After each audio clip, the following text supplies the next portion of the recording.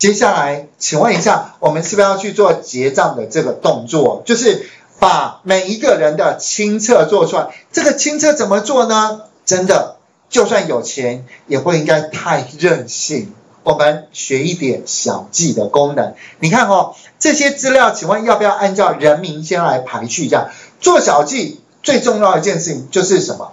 排序。所以呢，我们就先。把游标放在这个地方，然后资料里面也有排序 A 到 Z。排完序之后呢，我们就去做资料底下的小记。小记我们依照消费者，然后使用加总哪一栏去做加总？是不是依价格价格来去做加总？然后接下来呢，我们来去看二，请看一下这是不是 A N 它的总计，然后一一它的总计。然后 E N 它的总计，当然你也可以看三三的话就是详细的清单。我的意思，我只要这几个啦，还有这几个，这就是他的实际的消费，要跟他收的总金额，这样不会做错啊，对不对？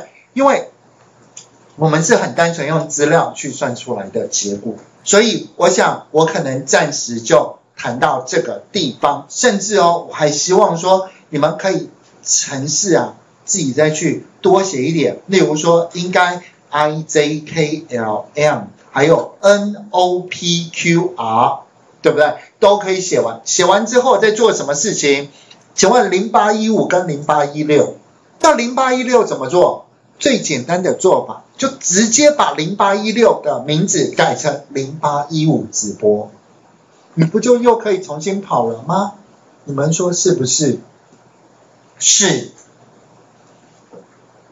听得懂我的意思哦？就是说，假设我把这个资料表改成零八一五，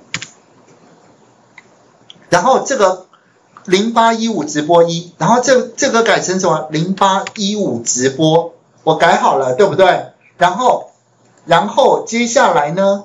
接下来我游标是不是？你随便放，随便你游标放在哪里，我 data 这边很重要。我们先把那个小记先移除掉，资料小记，我们先全部移除。好，我现在是不是将游标先落在最下面这个地方？我现在是不是要去收集这一个零八一五的资料了？收集放在这个地方。我刚刚这一个资料全部都是零八一六的直播资料，你看我现在游标随便放，开发人员聚集，然后直接点资料收集执行，他是不是又帮我去收集零八一六那一个直播的资料内容？可以理解我现在的一个应用，您不需要再改写什么程式了，你只需要。因你的工作表去迁就迁就你的城市嘛，也就是说，假设你今天有零八一五直播、零八一六直播、一零八一七直播，或者是一直到零八二零直播，是不是全部都可以把资料并在一起，七天来去跟他小结？如果你钱够多的话，因为小本生意可可能哦，我直播做完，我立刻就出那个请款单。这样不是比较好吗？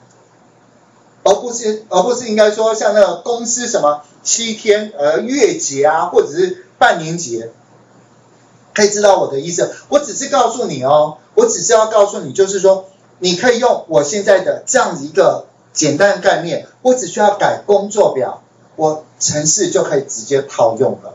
最后他就把这边我们看一下 data，你看哦，最后一笔。最后一笔哦，一定是这个零八一五零八一五。我们我刚刚是不是只有写到 M M 的什么地方？这一个一定是这一个，呃 I U 他买的这个一百一十，你看一下是不是 I U 买的一百一十？